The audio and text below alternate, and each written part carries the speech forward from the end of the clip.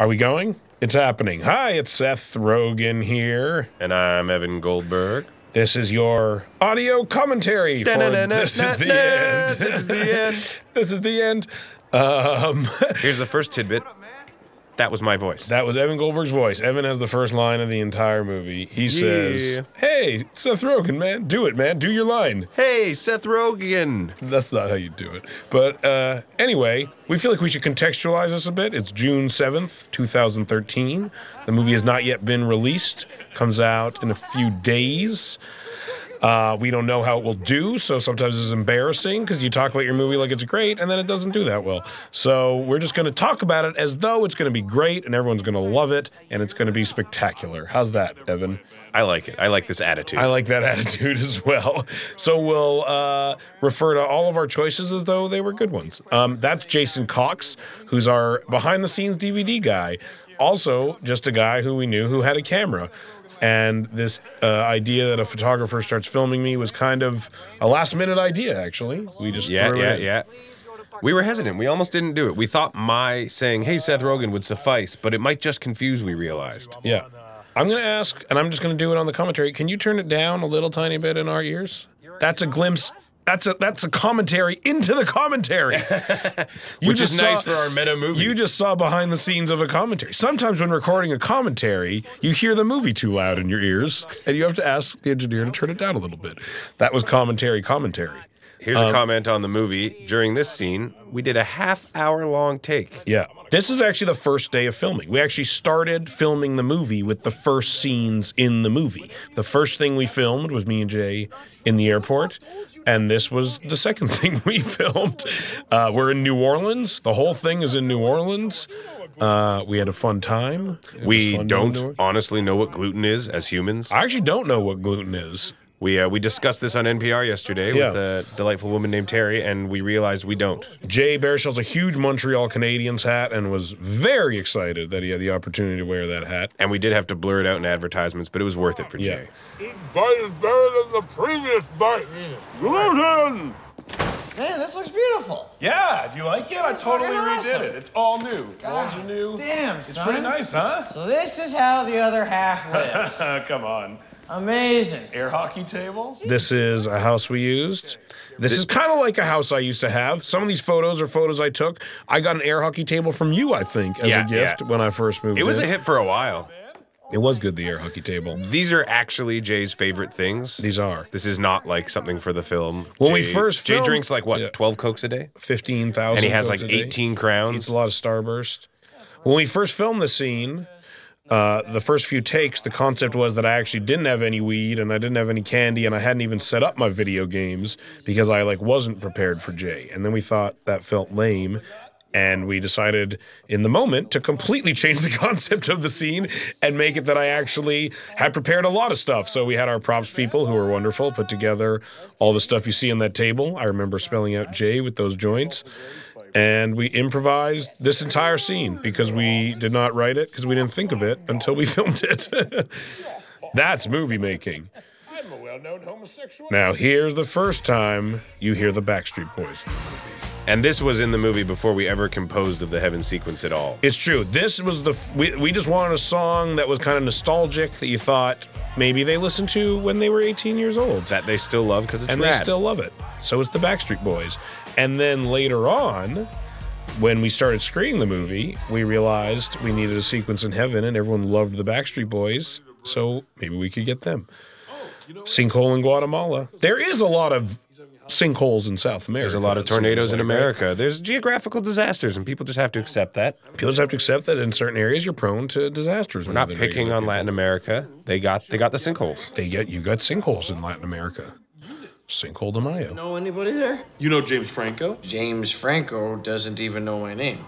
Would you say this is accurate to Jay's attitude in general if you were to invite him to a party somewhere? Specifically talks about how Well, no, because he wouldn't go. Exactly. Like, th- this conversation is the same, but it would end with him not going. Yeah, yeah. I mean, that, that- that's that's decades in the past. Jay just It doesn't is. go to parties. He doesn't go to Everyone parties. knows it. He used to go to parties. If you want to come to his house and have a two guy party, yeah, a two dude hangout party, he'd be more than happy to do that. when I hung out with him in Montreal the other week, we watched a show called Bait Car for four hours. That's a good show. It was incredible. We can probably, yeah, I've seen that show. Now, those Hollywood Hills are added. That's a computer generated effect. Um, Begun on the film The Last Starfighter, computer generated Exactly, effects date computer-generated back to the effects. 80s. we, uh, this area where Franco's house exists is geographically not a real area of Los Angeles. It's kind of in the hills. Anyone who's It's- from LA knows all the geography is Like, bullshit. there's no the place movie. you can really see the hill like that and also walk to Melrose and where there's also streets like this. But I mean, we wish, right? It didn't matter. Now this house is mostly computer generated, actually. Um, the entire second story, the door is real, parts of the wall is real, but no house looks like that. We kind of wanted it to be a ridiculous looking house. We wanted Frank Gehry to say that he would let us uh, say he designed it, but he said no. I'm glad he did. It makes so much more sense that Franco It's did. true, it does make more sense. And then we came up with the idea that Franco designed it himself instead of Frank Gehry. But uh it would have been I don't know. It was a little dis- it was a little disappointing when he said no. Life's uh, full of disappointments.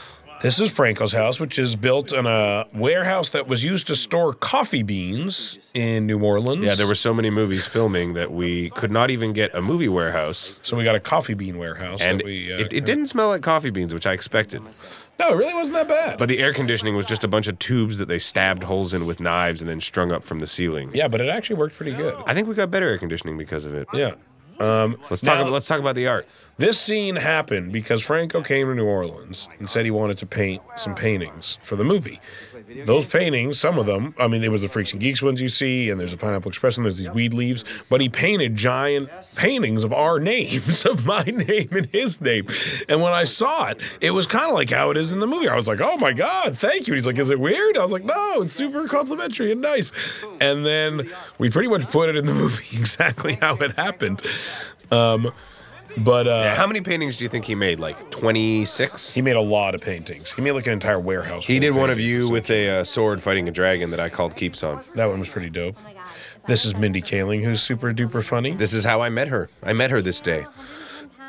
She uh, was in 40 Year Old Virgin. That's how I first met her.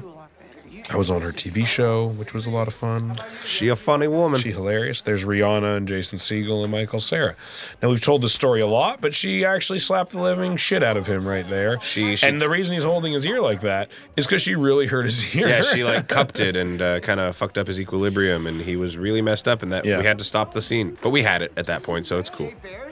Jonah always had this idea for his character that he would be like one of those guys that you that is like super nice on the surface, but you could make an argument was fucking with you and was Yeah. maybe actually not that nice. And for Jay, like it always feels when you know that, you always feel like no one else gets it. Exactly. Like, can't you see this guy's a fucking idiot? And and you it, and it works so well because you totally get why Jay hates him, but you also get why people would like him because it's funny and he seems nice. No, I would say Weed is th- tight th- is one of my favorite jokes. Weed is tight. Yeah, Jonah says that's his favorite joke he ever told, Weed is tight. and he should be proud of it. Weed is tight. He made that up. That was I feel funny. like this scene relays the most dynamic between three characters as quick as ever possible. maybe like, in a movie yeah. in the history of film. Jonah Cinema- and Jane, you were just like getting it, getting it done. maybe the most ever in movies. Citizen uh, Kane takes like a long Oh, movie forever! to get, it's just to get over like one it's thing. plotting. That's my dog, Zelda. She uh, actually does know how to bark. That picture was taken in a bathtub. I try to sneak her into the movie. This this joke, I don't know. It's funny in the movie. It's no, it works. It's a physical gag. it works. It's To like me- it's like a clown humor. Like he's, Yeah. he's making a funny face. And the audience does recognize Zelda when she comes back in the end. And for it gets sure. a big laugh and a cheer. So it does work.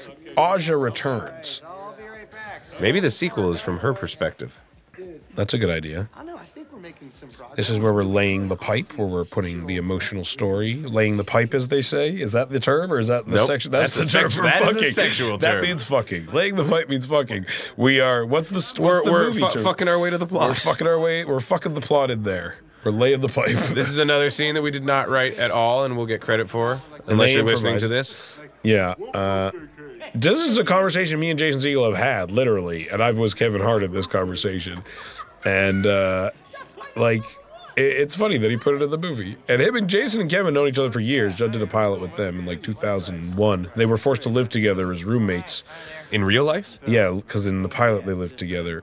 So Judd made them live together, which was actually genius if you think about it. It is pretty genius. Love it here. You don't like LA? Emma Watson. We used to have Michael Cera come in this scene, throw a cigarette at Jay, and ask my, ask Emma Watson if he can live with her, and then tell Craig that they were inevitably going to fuck one day, and tonight's the night. And then we cut that. It was funny. It was just a little too much Michael Cera. There's a lot of funny Michael Cera we didn't use in the mm, end. Yeah. That's what he gets for acting so good that Yeah. we only pay attention to It him just when he's on the overshadows screen. everything else. Uh, this was Emma's first scene in the movie. We completely rewrote it right before we shot it, which I think horrified her. We did it with her though, so that might have.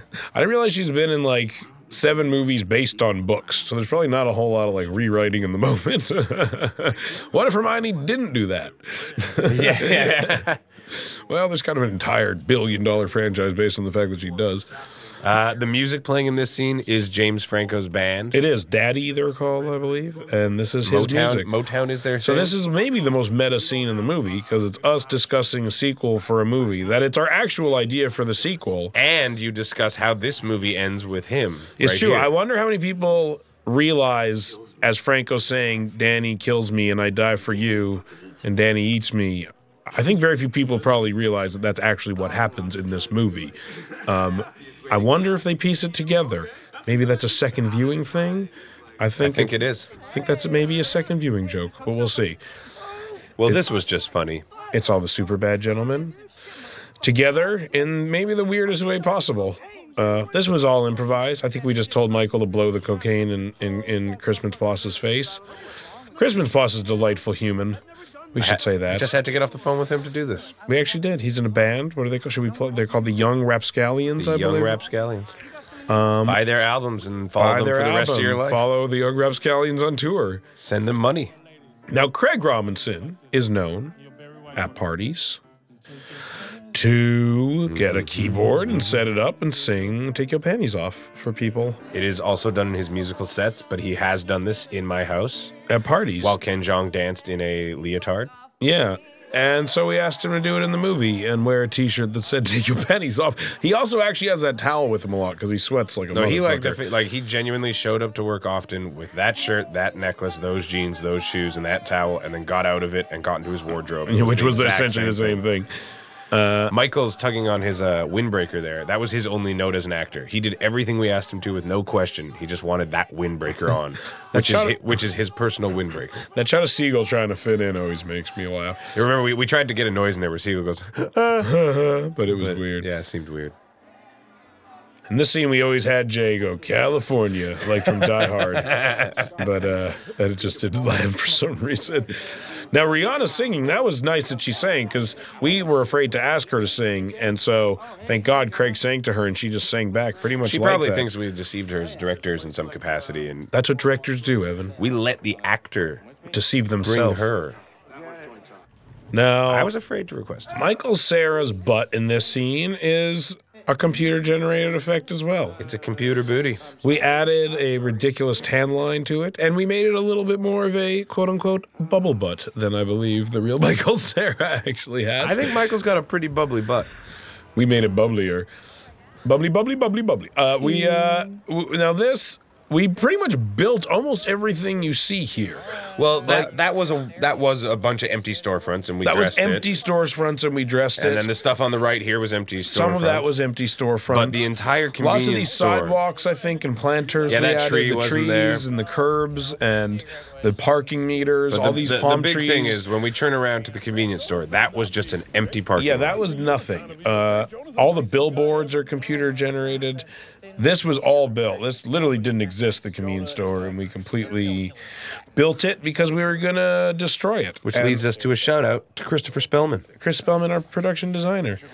That gentleman's name was Johans. I will never forget that. Yes, because I and- thought it was an interesting name. Not as much of his acting got in as I would have No, liked. he, 'cause we he had- did a good job. We had a more in the movie but when we shot it. We had more of a bit where we kind of established certain people in the story as being good or bad.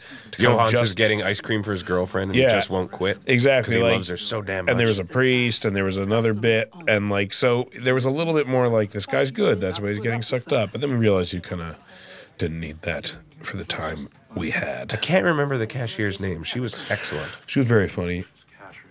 And this is something when I get stoned, I do get cash register lady anxiety. I'm just gonna head back to And uh, I think that that needs to be addressed in some capacity. Dude, I want you to get to know these guys. That's never gonna happen if you don't put in any. Now, this part was fun to watch because it's the first time we realized we could scare the living shit out of people in a movie. Something we'd never really done before. Yeah, people really that that that Yeah. worked. It worked really well. Now, uh, with the way all that stuff you're seeing in the background is all CG, all those palm trees swaying around and Bill- dancing. the billboards are fake. these flares are all fake. All If these, you- if, if you, you watch a lot of these movies, the flares they do are fake in Superman and Star Trek. All the Yeah, flares Star Trek. are They're probably all fake. I would they're imagine. they're all added in post production. They're computer generated. Something A that only a few people have noticed. You'll see in the backboard a billboard for Ninja Rapist. yeah uh, background yeah We, it's uh, behind Jay. We like to come up with fake movie posters that we never show to anybody, and that was one of them. yeah, and uh, we thought it was a funny fake movie that was coming to theaters next summer. On the other billboard was One of our editors. editor. Yeah, uh, it's uh, when we were making Green Hornet, the production designer told us if you're going to build something, you should destroy it. And that's what we did with a lot of the sets in the movie. Pretty much everything we built, we ended up destroying, including this convenience store, like that. And uh, this shot was that was actually our visual effects supervisor, Paul, who got hit by that car, uh, which was nice. Uh, The, this whole shot is extended. It kind of just ends, but we just yeah, make it all the look like it keeps fires are going. added in post. The blocks in the background are added. The entire street going up the block in front of us is added. That literally just dropped off into nothing. Um, there's a lot of visual effects that were fun to do. It was amazing to see how much you could fill out the shots. The sky, we made that orange. That wasn't orange. I mean, all that stuff. The hill Hollywood again. sign. The house is a visual effect. Wait, when you said dropped off into nothing, you meant the the the traffic sign just vanishes? It no, the whole street just like it was just black. There was no street lights. There was no even houses up that block. It was just like fields kind of. Oh, I thought you meant. I thought you were referring to one of the mistakes we made. Uh, these days were stressful when we had all the people there and the extras, and uh, there was like 20 famous people on set at the same time. You had to make sure it was kind of like throwing a party at James Franco's house. A party where we don't get to drink and we have to organize everything and keep cleaning. I drank the whole time. You did not. I drank yo dick, son. Um, you did. I uh, this scene was. I remember thinking like this uh, better work. Like if it doesn't seem real, and like Jay actually saw blue lights and is actually freaked out, and if this scene's ridiculous, the whole fucking movie ain't gonna work.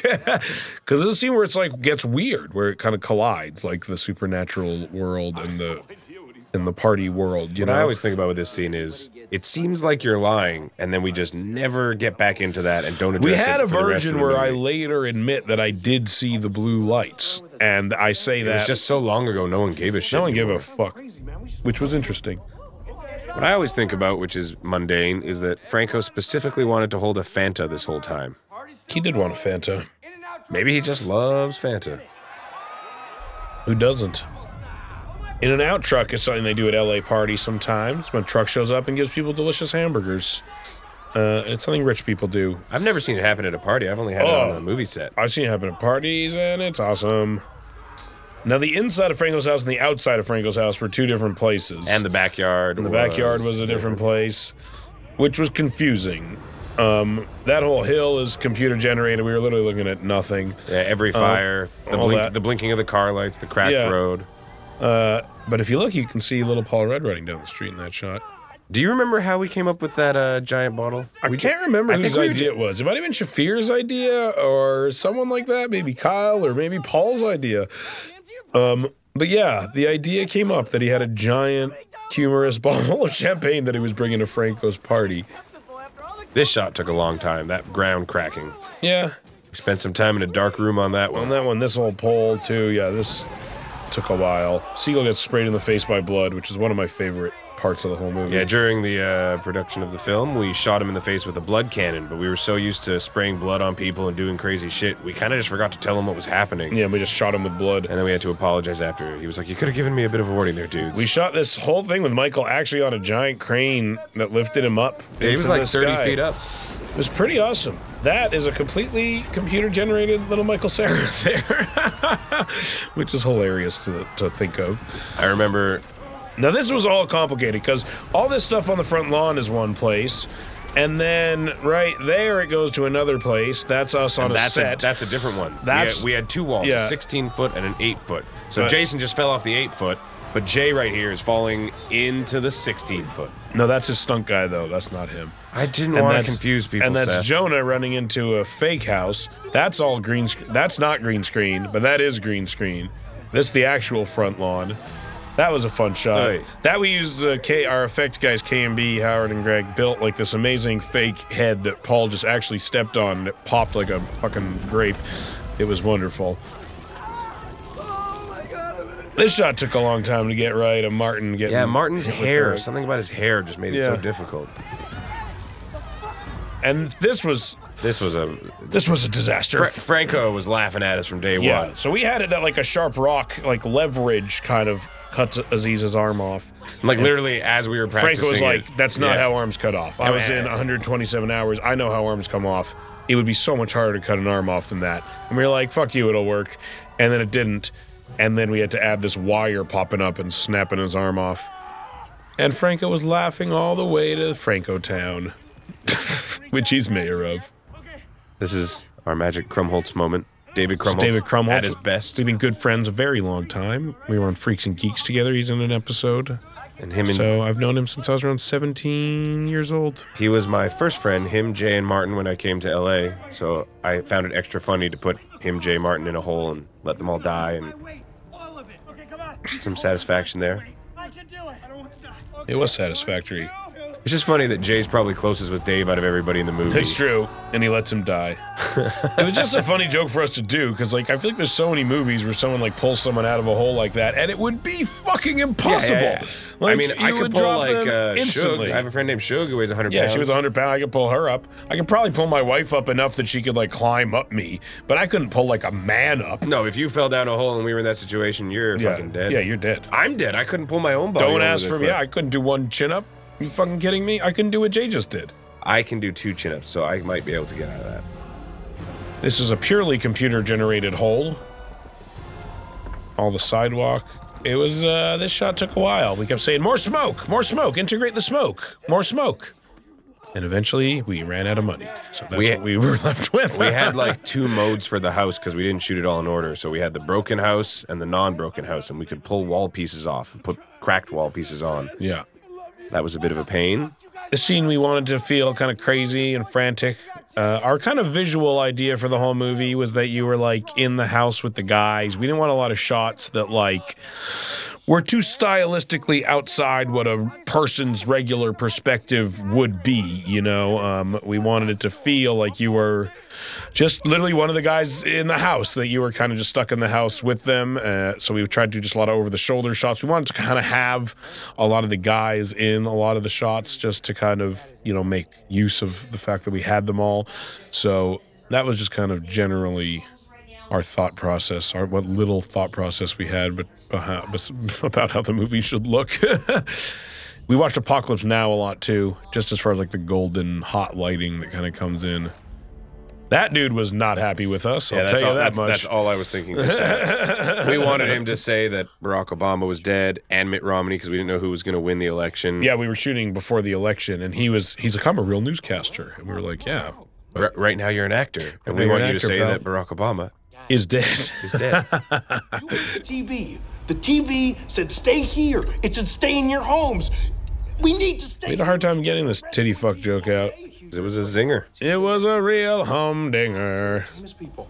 They'll get Clooney, Sandra Bullock. Jonah's character was largely his idea. That earring was fucking a pretty wonderful choice. That was his idea.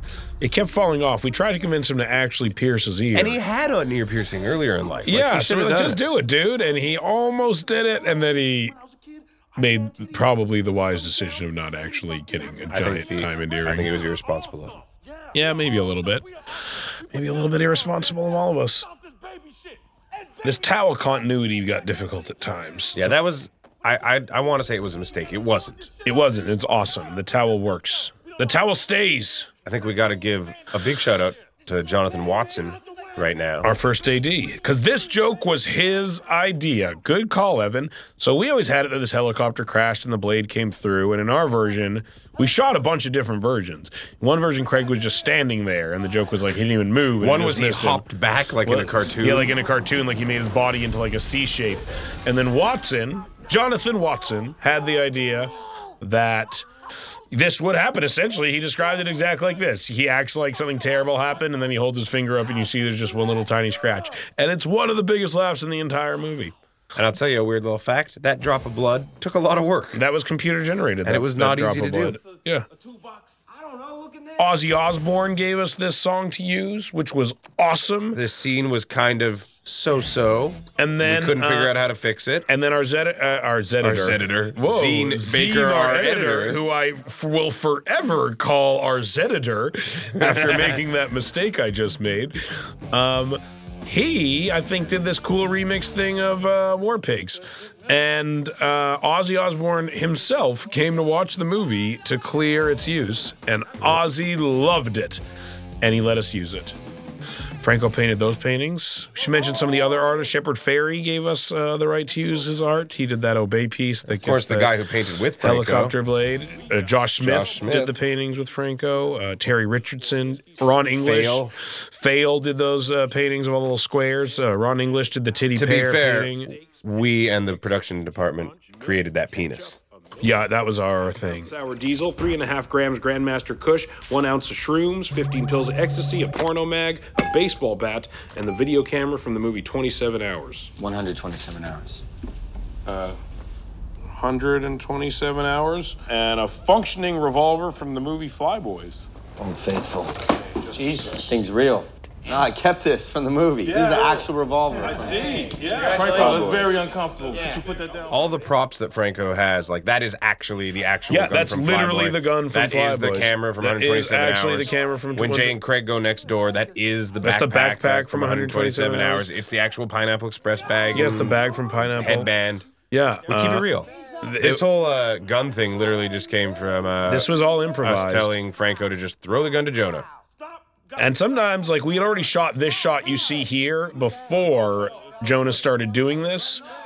And then after he started doing it, we had to go back and shoot it again, that wide shot, uh, because he, you know, he hadn't done it yet. and We needed to match, which is Which one sa- of the. sounds interesting, but is super uncool when it happens. exactly. And this shot here, we had to go back and do my coverage again.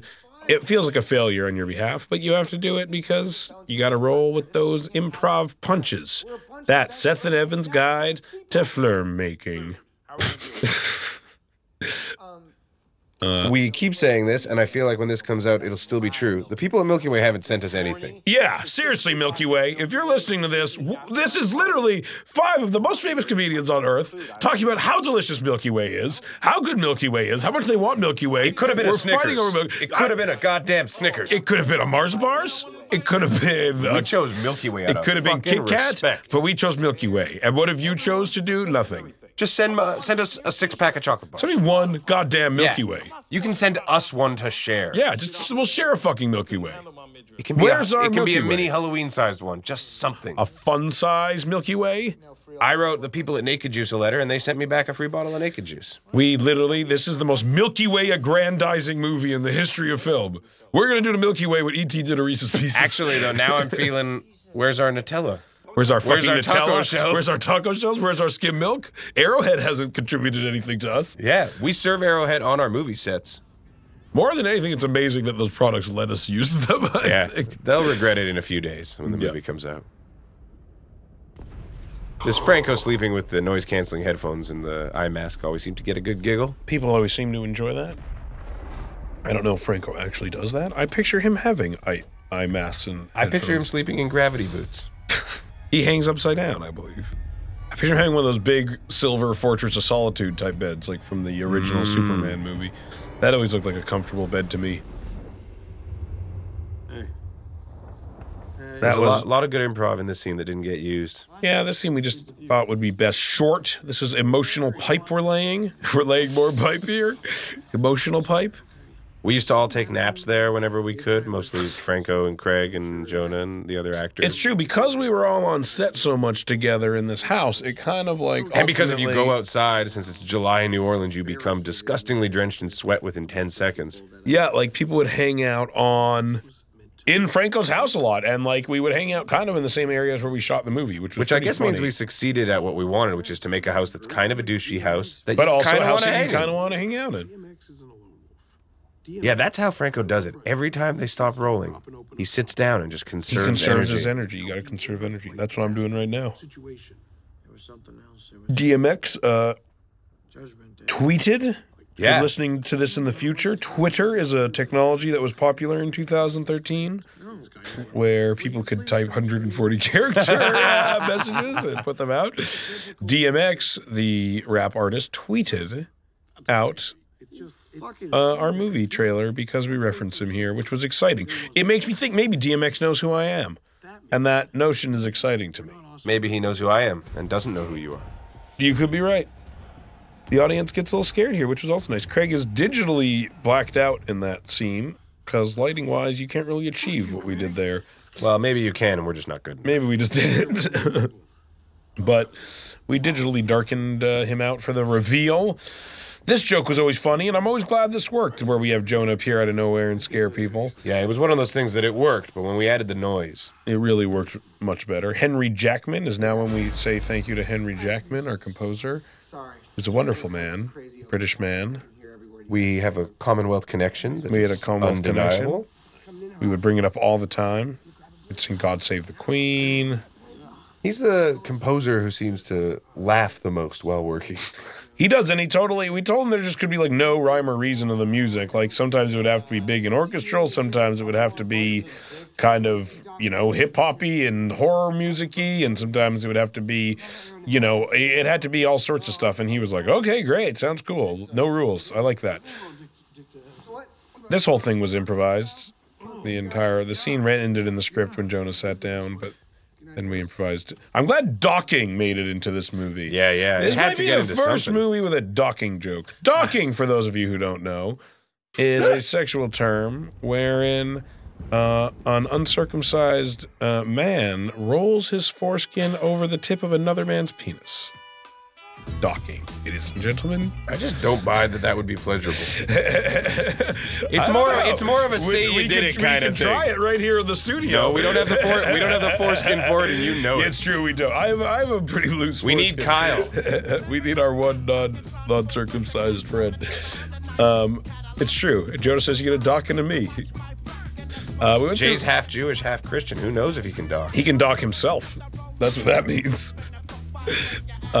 Speaking of docking, here's Danny. Here's McBride.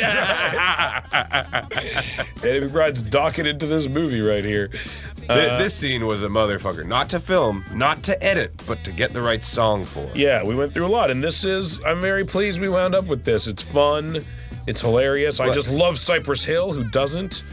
I feel like it's also time to mention our big musical faux pas. We thought it'd be cool if this music had all gospel music. If the song, if the movie had all gospel music, And uh, we Yeah. tried it. You fucking idiot. It didn't work. Yeah, it didn't work at all. Um, and so we replaced it with all sorts of different kinds of music. Lots of music from the ni- late 90s, early 2000s as you watch it, right? We also filmed a gospel choir singing, Yeah. videotaped it all. Maybe we should put that on the DVD. Why wouldn't it? Uh, yeah, why wouldn't we? Well, we'll see how that resol- resolves itself when you've purchased this DVD. if you're listening to this, you you have the DVD. This was Danny's first scene he shot, which was funny because he had a lot of uh, like zingers prepared, I would say, and we were all a little nervous because to us, Danny's like the funniest dude ever. And uh, he made up all this shit, including this James Franco didn't suck any dick line, which when he said was one of the funniest things. Do I've you know ever if he came with that one on the day or if he came No, he with it? just made it up. Because it started with James didn't Franco didn't suck any dick. That's a first. Like he was was like you didn't suck any dick. That's a first. And then it evolved. Then he got it too. James Franco didn't suck any dick last night. Now I know y'all are tripping. Which is a very well formed joke on Danny McBride's part. This joke was always funny. The fatalities. Danny just kills it in this scene. This scene was very. This was the first scene we released It got whatever. We don't know how the movie's going to do yet, but let's pretend it does great. So, this is what led us on the road to our massive early buzz that led us to be the box office giant that we ultimately became. You're an Academy Award Thank God. person. You need to be Jonah, of course, is an Academy Award nominated person. James Franco, also Academy Award nominated person. Two out of the six main actors in this movie are Academy Award nominated And people. you won a Stony, and Franco won two. I won a Stony Award. Um, I uh, was nominated for an MTV Movie Award in 2004. I did not win. The guy who's about to pop his head through this door is named Brian Huskey. If you need someone to make something funny that you didn't write, Hire call Brian Brian Huskey. Huskey. because he improvises very well. Um, now Brian Huskey is like somewhat recognizable. He's in some commercials and he's on like Veep sometimes, and so we actually had him film a take or two where he's like, "I'm Brian Huskey. I'm on Veep. I'm in some commercials." Uh, just in case he became recognizable in the time we made the movie or, or when we screened the movie, people were like, "I know that guy. It's the guy in those commercials." We didn't want to ignore the reality of the movie, which is that everyone is themselves. Well, the truth know? is, we at first didn't want to hire him because we thought he was too recognizable. But he was. There was just nobody who did it even close to as good as him. Yeah, he was very funny. Oh, my ass hurts, but I'm gonna slug through it. Yeah, our our, our casting director Francine Maisler made actors punch their head through a, uh piece of paper.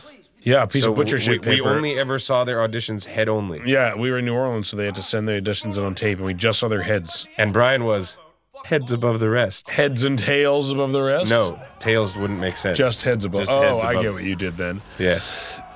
Now this head. I almost just threw up. This head was a head that KNB built. Oh Um, God. It was empty. It had like a reservoir inside of it that you could literally fill with like a gallon of blood. Yeah, we would like be like reload. And so we just fill the head with blood and kick it around. That shot was achieved by putting one of our cameras inside a giant sphere that was roughly the size of a large beach ball. And the actors, we would just roll it to each other as we screamed like and, fucking and, idiots. and at Video Village, which is where you watch the playback as the director and the uh, director for photography, we couldn't see it, so we just stood there and heard like ah, ah. Yeah, uh, we would have to come in and see how they did, and they did good. yeah, we did very well. More of those shots made it in than anyone thought. Did you see on the DVD stuff Brandon saying that when we told him he that thought, he thought it was, a stupid, idea. Fuck you, a Brandon. Stupid idea. we regret Brandon. hiring you. Look what you say. You, Uh, we don't you- regret it. You bite regret the teat that milks you. That you're, you're bungling your sayings. I'm not, Evan. This is all the accurate sayings. Um, This now, used this to be was uh, a giant. This scene was one of the biggest scenes that we cut down. It's on the DVD. You can see it. You can unless go we see it. cut it tomorrow, but I don't think we will. Time will tell. That is all CG. Everything out the window CG. We're literally looking at nothing. All that stuff is fake. That's all fake. Fake flare. All fake. It's all lies, people. This was Um, a a big win for us. This idea. This really helped us in in uh, telling our tale. Yeah, we set up this confessional room where um, we can record confessionals easily with this little camera. And this straight up like we just discussed the real world and said we should just do Yeah, what we do in to the be like real the real world. They're stuck in a house. And kind of like, and it was also kind of based on like paranormal activity and like uh, Yeah, 127 hours a little bit also. And my personal confessional collection. Yes, and, and me and Evan keep personal diaries of our own lives. Um, and uh, and so we had each actor record tons and tons of stuff in these little confessional Yeah, there's at least an hour of each guy on. and his we own. use it throughout the movie really well. Os Gêmeos are uh, artists whose work is featured behind Franco by the hookah. They're from Brazil. They're wonderful. And I appreciate them giving us permission to use their work in the movie. Uh, We used to have a lot more footage where he uh, masturbated on some of James's books. yeah, we had a lot more Danny doing gross shit in these confessionals, but we cut it, There was one where he was like, "Look at this! There's a place in Vietnam called Fuck Bin," which is true. which is true. Um, the scene was largely improvised. We just kind of talked about what different theories could be. Jonah made up the sink, sinkhole de Mayo thing. The picture at the back of the room of uh, telephone wires. That's Seth's photo. I took that wonderful photo of telephone wires. It looks like a cross. That's why we put it back there. You should try to sell it now through this format. How Uh, much? How much? How much? How much would you sell that for? All of it. Four million dollars. That's on sale for four Wait, no, million no, no. bucks. Oh, Four million euros. four million euros. Yes, exclusively. Just please send your money to Sony Picture Studios. It's on Washington near Madison and Overland. into my kingdom of heaven. That's the rapture. Those are the gigantic beams of blue light. And there will be a great mountain burning in fire. I mean, the Hollywood Hills are literally engulfed in flames as we sit here right now. The Hollywood Hills ain't no mountain. It's a hill.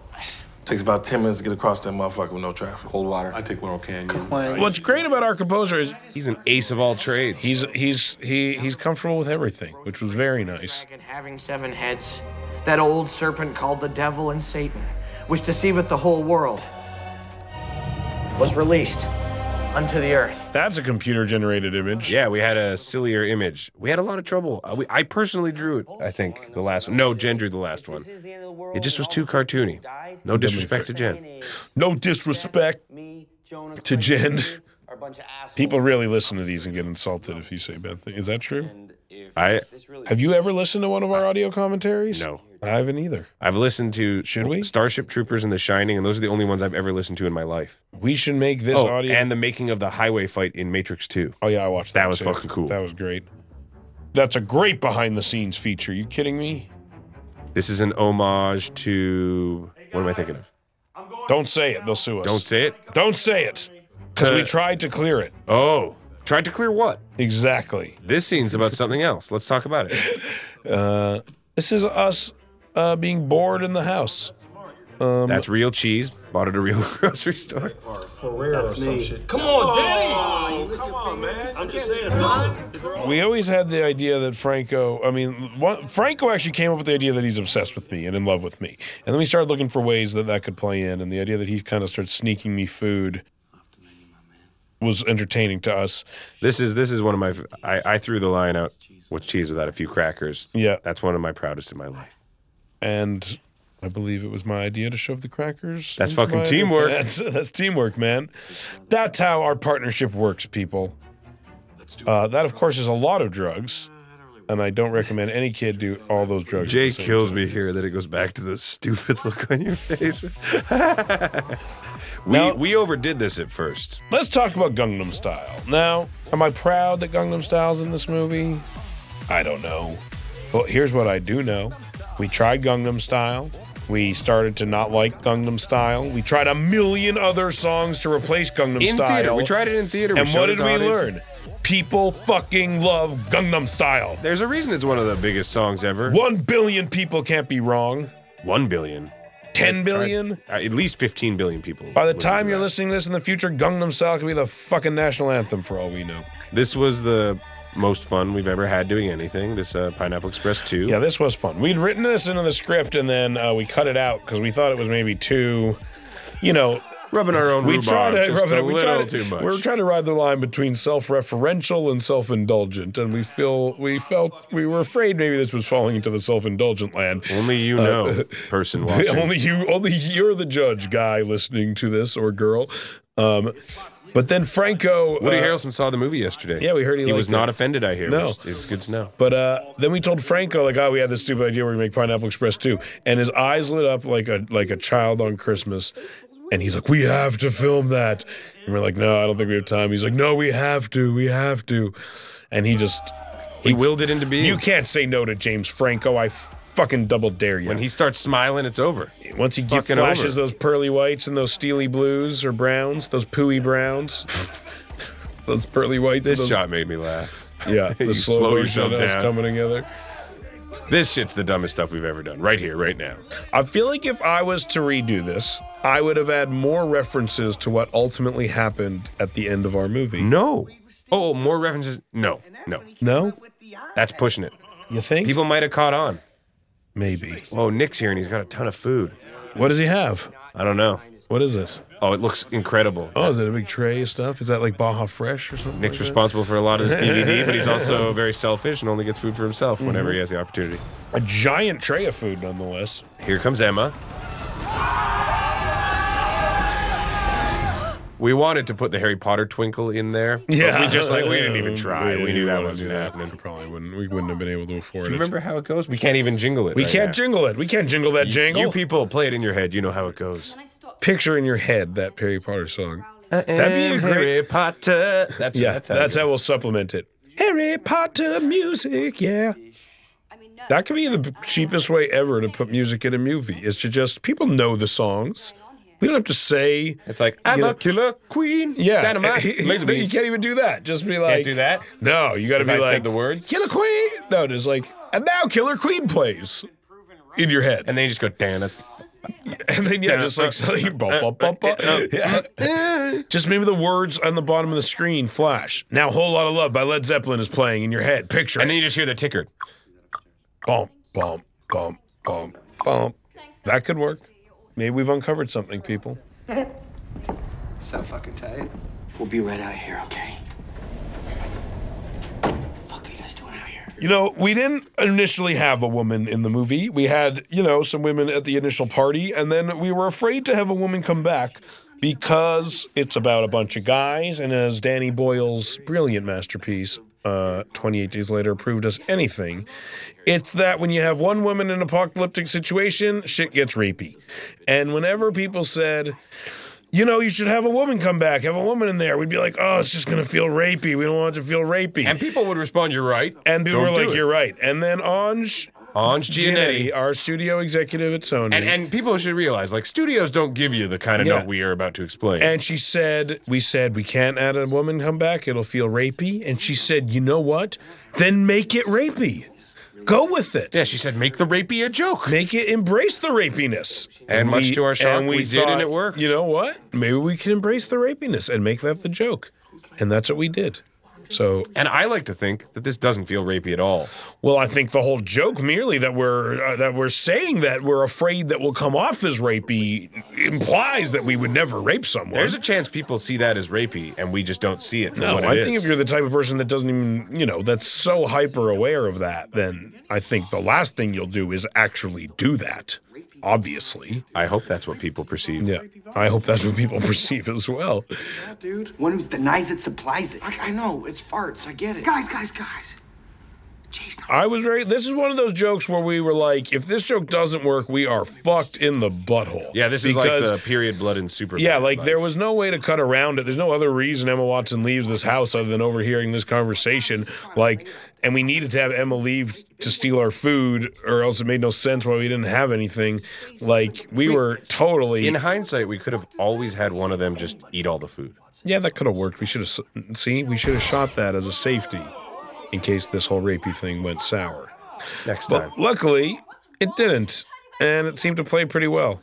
I always find that time funny how she says that. I'm just trying to talk about which one he's tried to read me. It's a mouthful. We She gave says her a it so mouthful. I was fast. trying to find out which one he was. Here's the trying to- thing. So no one knew that Seth was wearing breakaway glasses at that moment. Yeah. And we all thought that she just shattered his nose into a million pieces. Yeah, she didn't. I'm just, I will say, I don't have many skills as an actor. One of the skills I do have is I'm pretty good at pretending that I got hurt. I think it's probably because Hey man, Charlie Chaplin had the same skill. I was I I got hurt a lot as a kid. that was a moment we debated heavily. Are, we, re- are we really just gonna chop we a chopping dick? the dick in half, and we decided, yeah, we're it's the same chopping thing as are we gonna fucking give dick a in half. demon a dick? In the end, the answer was, of course we were. If it involves a dick, we said yes. It would be amazing if right now Frank would just shot her in the head. Well, I still think that from that sinkhole sequence, people think that can happen. I know it's true. We just viciously kill so many people so quickly. Hermione just stole all of our shit. That joke worked. It sure did. Jacked us. And then Jay suggested that we all rape her, and now she's. But I like this part. The abda, uh, I, I, yeah, yeah, yeah, yeah, I- I- this joke, the fucking house bitch joke, is fucking crazy to He me. couldn't the act, he couldn't sell it more. Like it seems so sincere from him. Yeah, to me that, that, that that's one of the craziest things anyone said, Daddy. I can't believe he actually did that. We should have had it in my other nostril because you see it here on this side. If we had it in the other nostril, it would truly be a reveal by the time it panned over. I see that to as me. a not as a failure upon us as directors, but as you failing as an actor. Well, I'll take that on myself then. I'll take that. See, it gets like a chuckle. It would get a bigger laugh if We you could have hadn't gotten a already full blown seen it. guffaw if we We played could our have gone cards from chuckle to guffaw, maybe even a chortle. no way would we got a chortle. Who wants to go first? I'll do it. we kind of wanted a dramatic scene where people were kind of pulling shit to see who had to do something. It's in a lot of movies. And uh, Craig, uh, you know, we thought it'd just be funny if Craig instantly lost. That was kind of the joke behind the scene. This is one of the few And scenes. then everyone reacts in the worst way possible, as always. Craig's got a great beard in this movie. Hey, he's got a great face. His eyes are attractive. His hair's luscious. A lot of facial hair in this film. Mm-hmm. This is a, I'm not going to say ripoff. I'm going to choose to say homage from a sequence in the movie The Mist, wherein a gentleman uh, is going to venture out and they tie a rope to him and he goes out and I believe they just pull back in a pair of legs, if I'm not mistaken. Right? That is correct, Seth. Which would have been a funny way for this sequence to end. It'd be funny. It'd be funny if they pulled back a pair of like an, another guy's legs. Or just like a sandwich. yeah. what makes something else? A boot. A Thi- fish. I consider this one of our greatest computer generated uh, victories. Yeah, I mean, we literally shot this whole thing with like black tarps hanging around a set. I the mean, only thing that's real is that wall, and I think And one of the plants, and that plant, and that fire behind. But none it. of that hedge is real. None of the ash in the air is real. This is from the good people Uh, at Hammerhead. I don't even think the fires are real, honestly. Jamie Dixon. I think we just had lights. I don't even think we had fires. We had, I think we had one. No, no, I- you're right, because you can see the light behind it if you look. The way the light halos. Yeah, we actually didn't even have fire. None of the fire is real. That hedge, all the smoke. I mean, Craig's torso is fake. yeah. Uh, we should shout out Modus, who did our visual effects. Well, this is a Hammerhead moment. This is a Hammerhead we'll moment. shout out Modus when they're doing the good Modus. I'm just stuff. gonna. I just. I'm gonna forget otherwise. I won't forget Modus. Uh, all Ah. these claw marks and shit are fake, uh, digitally. We used to have a great joke here where he goes, "My name's Daryl. I play Craig. Or was it? I play Daryl on The Office. My Please name's don't Craig kill Robinson. I play Daryl on The Office. But we decided to make this sequence less funny and more scary and exciting because the audience seemed to want to be scared and excited, not humorized. Fucking dropped it. We're sorry. You got the rope, man. There's some jokes in there, but with Craig, you wanted to stay with him and kind of keep it scarier and more dramatic. And this is another thing where I truly think people think the goriest result is what's going to happen. I think people think Craig's fucking dead right there.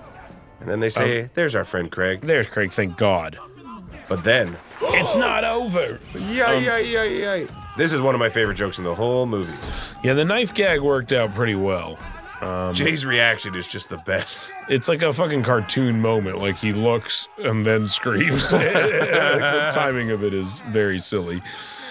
I like uh, how Danny just screams under a table. Danny's the just time. Danny's not dealing with the situation well. he um, just plugs his ears. What the fuck was that? I don't know what the fuck that was, man. Going back out there. Craig, you didn't even get any of the water. The door was fucked up. Damn it, this is so frustrating. There's a lot of swearing in this part. I always think maybe too many. Is, do we swear too much, guys? No. Is there too much profanity? Is it too profane? Is that our fault? Do you ever wonder the moment our partnership ended? It was this. It was this moment. I think we should go softer, Evan. I think we should pack in the profanity. I We're gonna how- have I like how children. from this, Franco later says, "You always can take your shirt off." I know he's got a nice body. He did it once.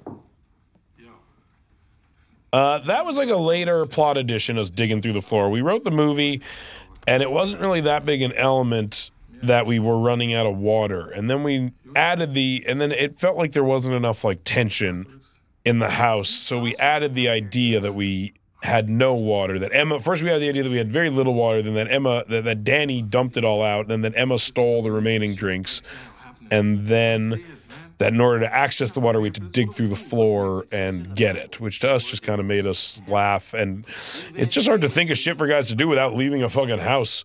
So eventually you just think, oh, maybe they can dig through the floor. it's a nice activity and, and it's all able, we can shoot it on our set. And that's the story of why the guys dig through the floor. From Seth and Evan School of Filmmaking. Ba-da-ba, ba-da-ba. Movie. All love. Just be nicer and follow those commandments. Listen, Do you know the Ten Commandments, Evan? The first one is you know why? you got to don't kill people, Don't kill people. and then you shouldn't steal. Don't steal. That's Don't two. don't fuck off your parents. Don't tell your parents to go respect your elders. Same difference. Uh, Shh. Big scenes here. do we not even do commentary on this scene? What's to be said? Do we assume that even people watching this just want to sit back and enjoy this scene? What are you talking about? Now, this was largely I think this was probably more scripted than people think it was, which is complimentary. We take it up until the like a goddamn pilgrim, and then they Yeah. take it home. All this is written. It's nice that I'm in this scene. I think it makes the scene a little better just that there's a dude standing there witnessing it happen, but it, it was really hard to be in this scene. No, if you watch Seth really closely and think about it, he's clearly like trying not to like that's all he's doing. I'm He's really trying not to laugh. He doesn't move. He keeps his body still because he's clenching his arms in his stomach Yeah. in like an attempt to not shake. Mhm. Franco lost his voice doing this. Danny made up that line. That always made me laugh. Fucking close your eyes and fucking come wherever you want. I mean, you're getting all worked up over a fucking porno mag. Who This line is the last scripted line of the scene, I believe. then they went crazy. Yeah, I'm almost laughing there. You're jerking your dick like a goddamn pilgrim. That's right, man. I like to fucking read. You think that's the only thing I jerked off in here? I've been dropping. You're literally looking away right now. I'm just trying not to ruin it. It- You feel bad when you laugh when someone else is being funny. That's what sucks about laughing is you only do it when someone's being really funny, and that's the worst time to do it because that's when you want to be able to use what they're doing, and you ruin it when you laugh. I've always relished my ability to laugh freely on set. I know you never had to look at the guys like you see it happen. Like people look pissed if you ruin it. I laughed hard enough once or ti- twice that I ruined a take. I'm laughing in this scene right there. Yeah, there he shakes. Right now he there, looks I'm away. Yeah. it was impossible to avoid. There, I'm almost laughing. I'm just kind of smiling. I'm gonna fucking shoot it off. You don't have enough bullets, bitch. No fucking jerking off in my house, McBride. I feel like this moment amused you the most, Seth, out of out of the whole movie while we were editing. Yeah, I always liked. I always liked the lines. Too late. I've already walked too. Don't walk away from me, Seth. I've already walked away too much. I always like that joke. Just fucking turn around and come back and help me. Danny. Daniel.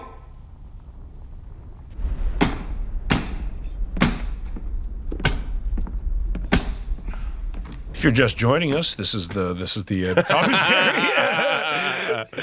I'm Seth Rogen here with Evan Goldberg. It's a beautiful day in Los Angeles, It's, uh, California. June seventh, two thousand thirteen. the movie is uh, probably a smash hit. probably a You future probably have smash enjoyed hit. it several times in theater. Probably won several Oscars by the time you're listening Or to this. Superman was just that damn Yeah, good. Or literally, you haven't even heard of this movie. Maybe someone gave you this DVD thinking you would like it, and you literally and you thought, "What's this? Oh yeah, or this is the end." I remember. I think I heard about that movie.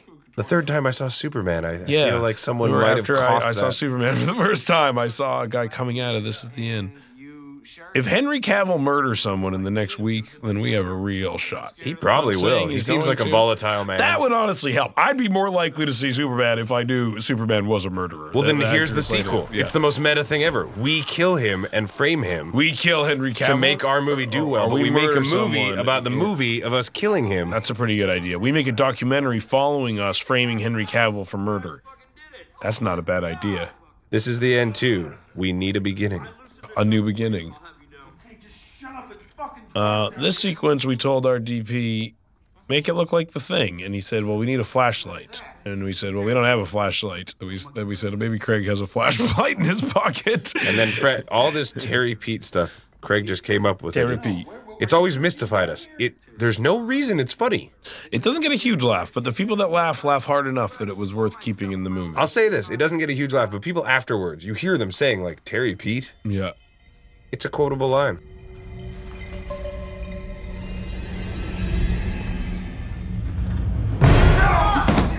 We try to have some references. There's Oscar dresses in the background. There's a milk poster. There's his arm from 127 I hours. also think it's worth mentioning in the drug sequence earlier, we shot a thing where Franco was the Green Goblin throwing tennis balls, and we actually got the mask that he had and the armbands with the razors. And Danny had a shirt with the Spider-Man emblem, and Craig was dressed as Mary Jane, and we did a whole scene, but it just didn't, just didn't click with people. no, it really didn't. Good. The two heroes over here breaking through the floor. We did break through the floor. Any of you guys would have done the same thing. Oh man, that fucking hurt. Yeah, I'm surprised you didn't shirt again. I think I did. Coming up here, we got we got the Danny wasting the water a second time, and I think it's worth saying that when he gets the mon- the gun in his mouth from Franco, it took us, I believe, like 17 times That was Something like one of that. the hardest. Uh, Took 17 times to get it. Everyone just kept laughing. It's, it's on the gag reel, I think, like four of the attempts. But it like got to the point where everyone was like, "We we can't do this. We have to move on." And we were just like, "Fuck no, we are getting this." It was it was the most. Maybe you know what? But Bill Hader on Superbad when he had to say, "I'm sorry, I blocked your cock." Yeah, he had to That do was that. like 28 times. yeah, he had to do that a lot of times. so this is number two. This wins the silver. We should be dividing our rations. When I was young, I used to always compl- complain that things weren't fair. If I got, if I didn't get the same thing as my sister, I'd say that's not fair, Dad. And my dad would always say, "Fair and equal are not the same." And that was uh, where we got the idea for this scene: is that Danny doesn't think it's fair that everyone is splitting things equally. He thinks things should be more proportional to their uh, actual physical size. So this is a lesson I learned from my father: that fair and equal, And that's why you will same. never be fit. That's why, because I just deserve more. The fatter I am, the more I deserve. That's what's nice about that. I like the noise Danny makes here. He just screams like crazy. If you're just joining us, I, this w- I was I was gonna pull the same. audio commentary. Yeah, here this is joke. And in theater, no one ever hears him say nerd. Because they're laughing too hard when he goes. That's what I thought. You just talked over nerd. Now they'll never hear nerd. Nerd's not in the movie even. This scene, for some reason, when we shot, everyone acted way crazier than they normally act. Yeah, the Like, extended they- version's also on the DVD. Craig started talking about vinegar juice, and everyone Jonah just- talked about how Danny's a bumblebee that stings you once and dies. They all went bonkers. Everyone just had a, was in a weird mood this day, and Franco's whole oh, "gots to gow, gow." That I don't know where the fuck he got that or why he did that, but it makes me laugh every time I see it. we shot the whole intervention. We actually filmed us like sitting him down and explaining that we, he has to leave, and then he kind of defeated the whole purpose of the last scene. and though. then we realized that you know you can just cut in here. That's what you call a waste of time. Seth and Evan School of Filmmaking. mega movies. Party. Party I wasn't We should open an audio school of filmmaking. I think maybe. why you guys don't We'll start with Green Hornet Live Plays. Exactly. Oh no, hello. We'll do tutorials online. Well, well, we can just open a back studio at the Lee Strasberg Acting Studios. We'll be the new. uh Who's the guy that gives the tips on Final Draft? Sid. everything I've been doing. Mc, Mem- Sid Myers. I can't remember. Doesn't matter. was a come Syd Field. Yes, Syd Field. crying and coming. Will be the new Syd Field. Finally, Thank God. Thank God that joke was able to come to fruition. tears from the tip of my penis.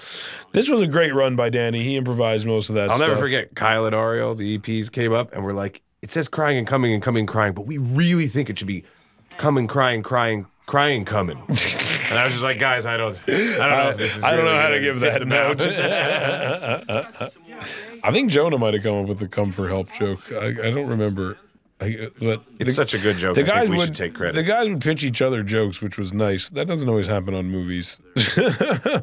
no, usually they hold them. they hold them, keep them for themselves. This joke plays well at the theater. It's fun how everyone knows exactly what's going to happen, but they really think he's going to uh, blow everyone's brains out. Yeah, this is like a long term joke, this gun, and it paid off pretty well, thank God. It took us a little while to edit it in the exact right way that it really. I remember played. when when Franco had the gun in the inventory scene and he was about to walk away with it. I said, "How about you never let go of the gun for the rest of the movie?" And he was like, "Great idea." And Yeah. he held onto the gun. And he, if you watch, he's never not holding the gun uh, Except until a- right after now. this moment, he doesn't hold it Yeah. anymore. because he's made his mistake. Yeah, he always has it. I would never do that as an actor. That's such a commitment. What? Keeping your props? Yeah, but prop, you gotta keep the whole time. You gotta put it down. Play with it. Oh, I see what you're saying. Well, you just get a, a lanyard on your hip. A lanyard. Never made a goddamn mistake before. Franco, you're some pretentious fucking nerd. Fuck you. Joe. This part always makes me laugh. Just because there's no context. Just Jonah's reaction to being called a cunt is so funny. He kept calling him a sassy little bitch, which made me laugh also. You were you're you're extra sassy for some reason. Jonah, anytime Danny said his name, would start laughing. Jonah? Hey Jonah. Jonah just couldn't even deal with that. It was pretty fucking funny to watch. Jonah had never acted with Danny, right? So he had a he had a bit of difficulty keeping it together because Danny really just made him laugh. fucking twisting that shit around. You're fucking Ow, my ankle. Something's happened. You were in Los Angeles two months months ago, Oof. Seasons, I saw you What is happening to me? me You got restless leg syndrome. Do I? maintain the illusion. You ain't gonna make it through this audio commentary. I got RLS. Is it R? This is the Restless? It's not end. W. Um, That'd be Wrestle's leg syndrome. I think I have it sometimes. My legs get antsy as fuck. Yeah. to leave. You're not kicking me out. Who do you think are restless? Or how do you how do you test it? I'm the one who fidgets all the time. You're not very restless. I'm pretty fidgety, I think. Well, you're wrong. I'm fidgety. Fuck you, Evan. Remember that thing you and Aziz do an observe and report? Yeah, That was a funny fuck you exchange. That's true. Should we, we we could get in some commentary for some of our other movies while we're in here? Is there any other facts? Wait, wait, I like this any of our punch. I like this punch. Let it happen. Okay, I'll just let it happen. I'm gonna add a sound effect. This is what I wanted it to sound like when it happens in the movie. Boing. we should just add the, all the sound effects that we actually wanted. For the sake of. Harumph. yeah. Yeah, yeah. Yeah, yeah. Yeah, yeah, yeah, yeah, yeah.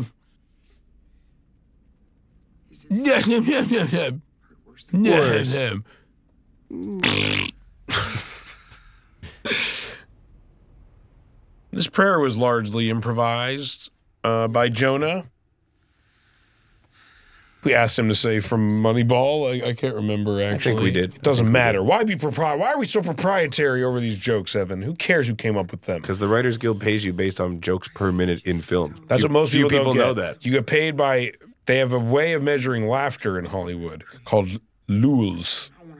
The more lules your movie generates, the more money you get. It's roughly three dollars per lule. Yeah, so though Pineapple Express Yeah. made less money than Superbad at a higher It had a Lule higher rate. Lule average. Yeah, our Lules were through the roof. So we really cleaned up on that. But It's a Scientology thing if you don't know yes, about it. it's Look it up. all deeply rooted in Scientologist beliefs. Lule's the space god. It's a whole thing. Yeah. But uh, this movie, you know, the more Lules are, that are credited to me and Evan, uh, the more money we get. Hashtag laughs.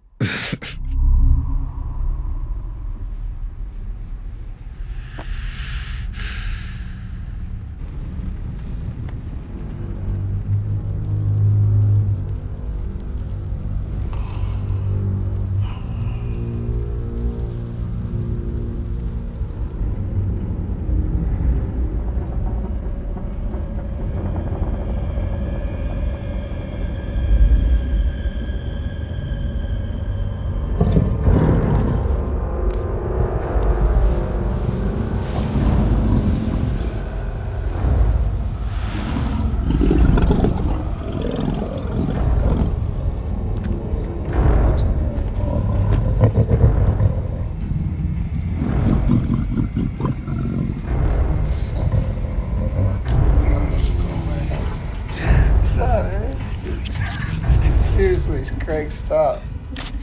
He nails it sharp.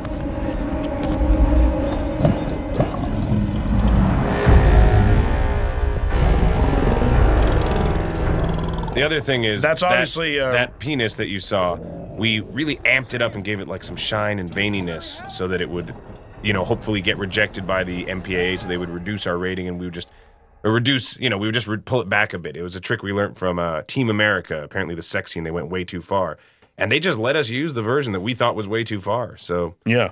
we got away with that big Vandy dick. Something um, not that chill happened last night. Yo, so I just drank my own pee for the first time. And it ain't bad. I never thought to do it. I always thought, you know, pee stink, whatever, but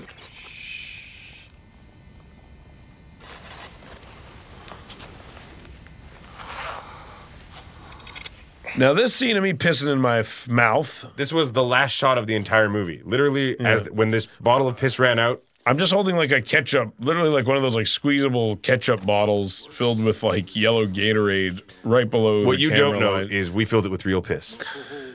Oh. oh.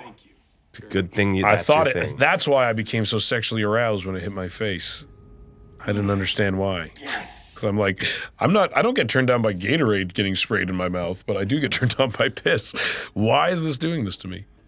That was one of those rare, rare moments where I was directing you without you knowing it.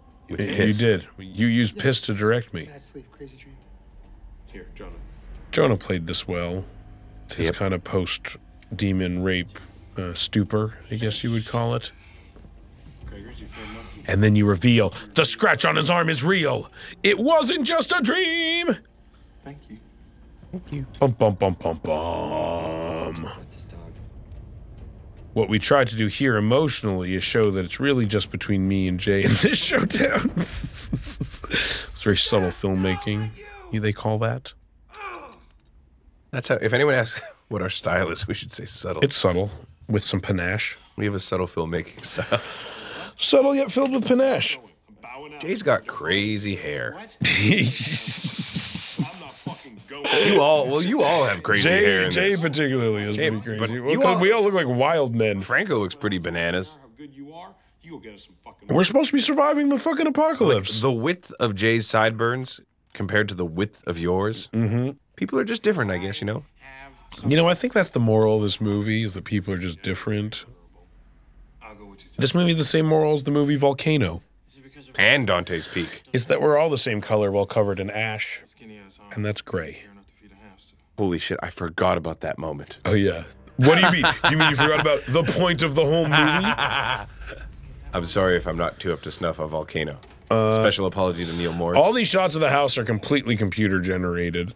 Um, or C. That's my favorite shot in the movie. G. I find Seth's patheticness in that shot very humorous. I'm sitting on this chair that was at one point kind of a plot like that. Franco has this ridiculous chair, a Wendell Taggart lounge plank. We cut it out though for the most part. That's the only time it's really used. I called dibs on that chair.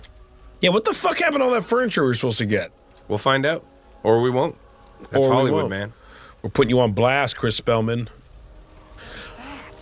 Uh, this shot you're about to see was for some reason the hardest visual effects shot of literally the entire movie. And it's not that good even.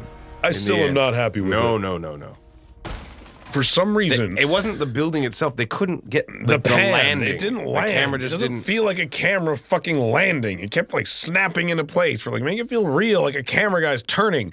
and it will haunt us till the day we die. And that's why me and the Evan last film we will ever make. are gonna dock iodine. We're gonna dock poison into each other's penises. Hemlock. Hemlock dock. We're gonna hem dock.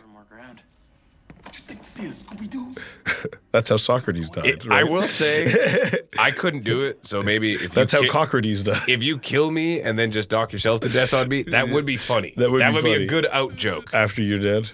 It's like we actually do one gay thing and it kills us. Are we hemlock dock? The weirdest thing is I'm having deja vu about this moment right now. We've done this before. so we always thought it'd be funny if Jonah got raped by a devil and then possessed. And this and then years later, we made this then movie. years later we found ourselves writing this is the end and thought, hey, this could be a good time to use that joke. Um, it uh Oh, in, in this scene where Jay and Craig get chased by the demon dog, we had a whole thing where Craig hides under the kitchen counter and eats Milky Ways. yeah. That was funny. There's a lot of visual effects in this sequence. Jonah, um, like none of like he's not wearing much actual makeup at all. Everything done to his skin color and skin pigment and his eyes and all the veins. Pretty much all that's done in post. So actors uh, actors watching this should take note that you never should wear makeup. They Anytime can, they can like, fix it later. yeah, anytime they're like, you need to sit in this makeup chair for three hours, you can be like, nope, I heard the audio commentary for this at the end, and I don't need to fucking do that, Mister Director. Unless man. you're less famous than Jonah. yeah, if you're less famous than Jonah, then you then you do need to because it's too expensive to do it to That's you. the big. That's why you got to chase that golden dream of getting big like Jonah. That little glob coming out of Franco's mouth is No, computer no. generated. It was. We enhanced it with computers, then we went back. No, that's computer generated. It's not gemer- It's not pronounced They generated. generated that? They computer generated. They didn't that. generate that. I'm pretty sure that's generated. That's an insult to his acting. He made it perfect because he's good. I think that's computer generated. He's not generated. Uh, we uh, made up a bunch of biblical stuff, which is fun to do. It's fun rewriting the Bible. It's like written pretty well, but you realize if you punch it up a bit and kind of take out some They lines just don't have as many there- adjectives back yeah, then. and y- then there's some run-on sentences. Uh, once, yeah, once you abridge it, the Bible actually comes out pretty nicely. And and and here, you don't have to sleep in a friggin' tent under a dick. So in this scene coming up, you see a giant horned dog-like creature uh, chasing Jay and Craig. Now, directors do this thing where they want everything to be real, or as they say in the biz, in camera. I think by the time this movie comes out, it'll be more like directors used to do this. Thing. Yeah. And that means that, like, instead of having a computer generated creature, you want an in camera creature, something you actually film. Or Yeah, real, what, what, what you tell yourself is it's real. Real's it's real. You and can't be cool. real. And people say, you know, it's hard to do that now. And you say, oh, I'm good. I can light it and shoot it in such a way that even though it's a guy in a suit, essentially, it'll be very scary and uh, dramatic. And then you find yourself filming a guy in a suit, a guy who's literally probably smaller than Jay and Craig, a guy that Craig could literally pound the living shit out of if he really wanted to. And like we designed a cool demon costume for him, but Yeah, but it just wasn't working, and we found ourselves. We were like, "We're those guys. We're those guys who said they could do it, and now we can't do it." And so we replaced. And the suit was good. I I think it, it was like we just didn't do it, and so we replaced the guy in the suit with a giant demon dog creature, and it worked a lot better. and this is the moment where we plug Modus. Yes, because they built this demon dog creature really fast as like a last minute kind of replacement for this other thing, and it's fucking awesome. Yeah, it's unbelievable. and it looks really good. yeah, and Modus uh, did most of the VFX in the movie. they designed it well and this whole thing i mean all of that was like i mean but like this shot we actually filmed no actually we had the thing running around back yeah, we had, yeah i mean we had him running around. yeah i mean all we had Craig the, hiding with a bat he could easily kill it he with. could easily beat the demon to death with if it was the other demon In my um, head, it was super strong. That's the silliest moment in the whole movie to me. snap zoom The snap zoom and the. now in this part jonah laughed very hard Yeah, the joke, uh, are you a big B or a small C, made him laugh harder than I've ever seen him laugh in my life, and we had to wait a few minutes for him to calm down to film again. yeah yeah it uh was very very very funny For some reason, that thing was CG, I remember, and I don't understand. I'll never understand why they had to be a CG coat hanger. no they threw it at me it got all flimsy Really? yeah This whole hallway isn't there. That's just a wall behind Jay, and we extended it with the visual arts. the visual arts Notice the the teats on the bottom of the dog monster. It's a mother. Which means where's its baby? Dun dun dun dun dun. In the sequel, Dun dun dun dun dun. this part really really gets me good. I like Franco's face right here. Watch his face. Watch it.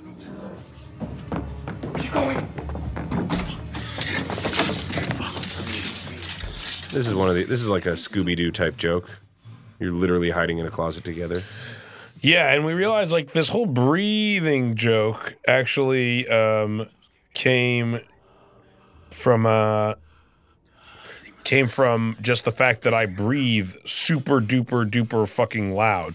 Um, and we realized that if I was hiding in a closet, I probably would breathe actually too loud uh, for us to hide effectively. So we came up with this idea that I don't know where to breathe from.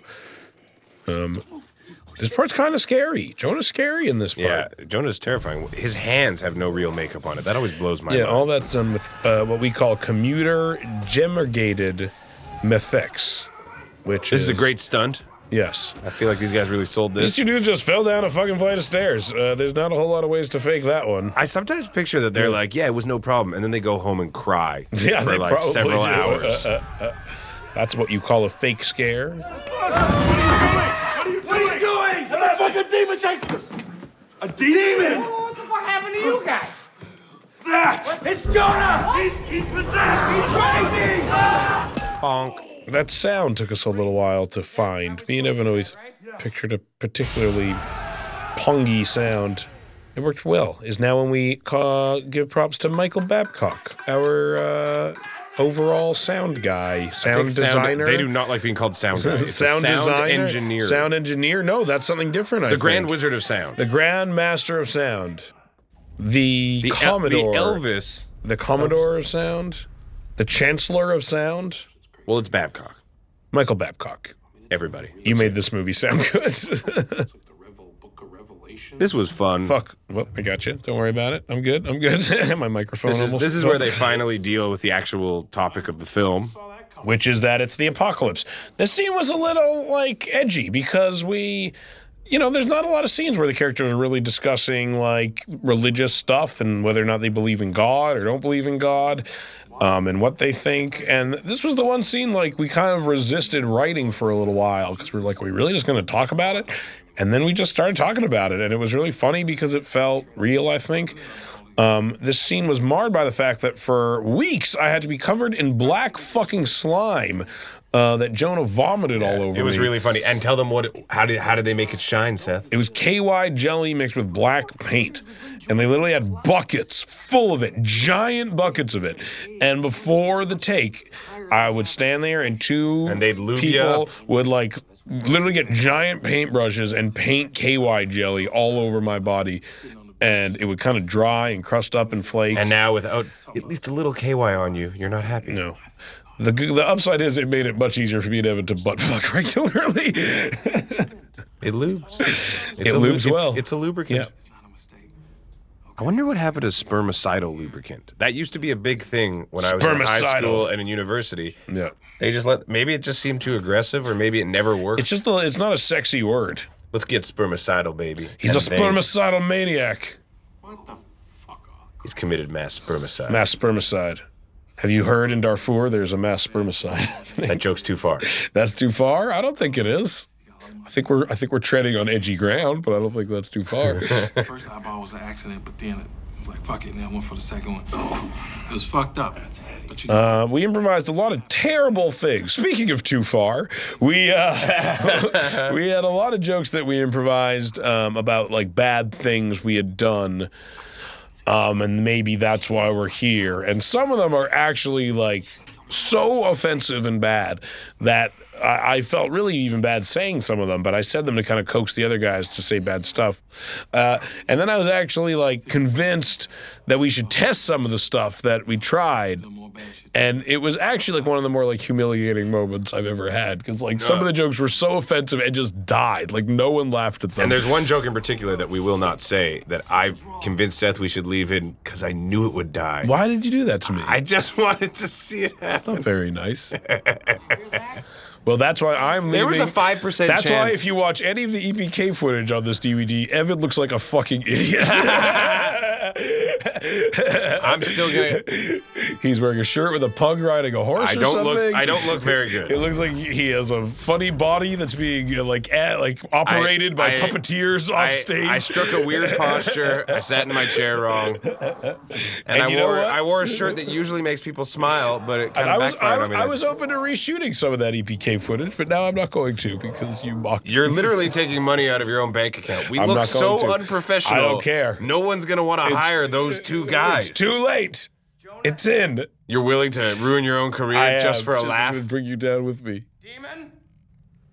Um, this was funny to shoot. Jonah improvised a lot of this stuff. We had originally wrote it that like he's saying dirty stuff, you will suck cocks in hell and all this shit. And then we realized that like we we rewatched The Exorcist and realized like even the crazy shit we wrote wasn't as crazy as the shit that uh, Linda Blair says in The Exorcist. And she's like a ten year old girl, so it was way more shocking than anything we had.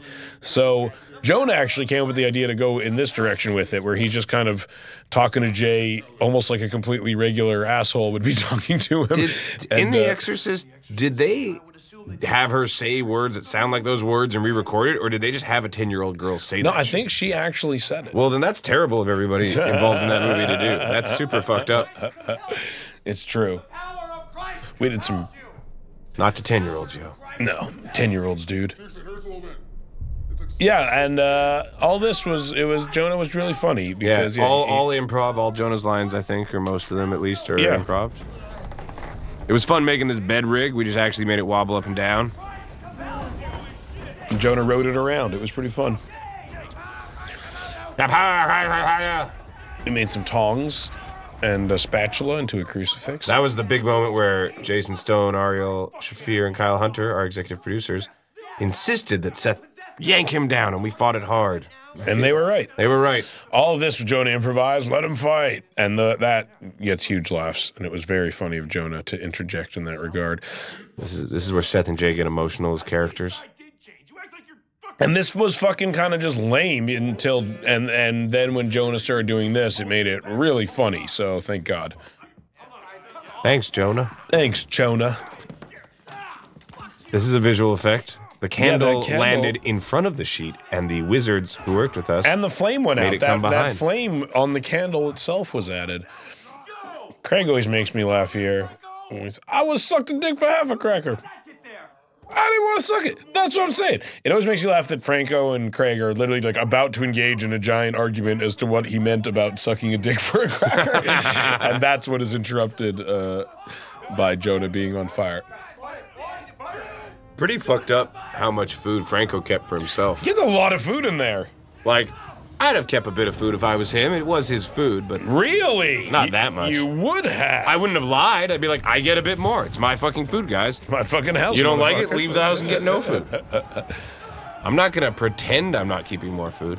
This dude, we lit on fire like 20 times. nine times. Nine I- times I- over the course of a day. I believe he set a record actually. Like, this fire isn't fake. We lit a fucking guy on fire and he ran around. He jumped off that yeah, thing. and those are all the real actors. he did all that shit. I mean, it was crazy. Like, and we just kept doing. We filmed all this stuff. A in little one bit of that fire is fake on the couch. A little little bit. bit of the couch fire. is fake. But uh, for the most part, the fire is real. That's And- all real. And it was like really, um, it was amazing what this guy did. Uh, I couldn't believe it. I felt bad. You feel bad making people do stunts for a comedy. Yeah, like if it was Schindler's List, we'd be like, this is gonna mean a lot when people This will see be it. meaningful. For this, you're like, it's a fucking giant dick joke, and we're putting people in danger. But it's okay. You got to do what you got to do. That shot of the house collapsing is uh, it's okay. It's not our best visual effects shot. I'm gonna say right now. but not this shot, on the other hand, is awesome. We had to have a best and we had to have a worst. These demons look very good. I think in the end, um, they are scary, and uh, Well, you don't want to get confronted with that thing. you don't want to get Oh, confronted this with song. Down, down, down, down. That. This is Craig's badass moment. We told our composer to try to make it sound like a cool moment from an '80s action Yeah. movie. Think maybe Lethal Weapon, perhaps. Think Lethal Weapon, or, or perhaps a Van Damme film, or something of that Sudden nature. death. And uh, he did a very good job, I think. Isn't for me. It's for you guys. Craig, you don't have to do that. Uh, all, everything behind Craig is fake. All that background is fake. He was always- we were standing in the parking lot of our soundstage when we filmed this stuff. But uh, the uh, the vimo, the visual effects wizards that did our computer generated effects, uh, they made it look like a real place. It was amazing. That house isn't there. All that stuff's fake. It's crazy. Literally only the doorway was there. Yeah. None of that stuff behind Craig. Yeah, it's amazing what they can do these days for not much money if you find the right people. And that is another lesson from Seth and Evan School of Filmmaking. Seth and Evan, Make movies. make movies.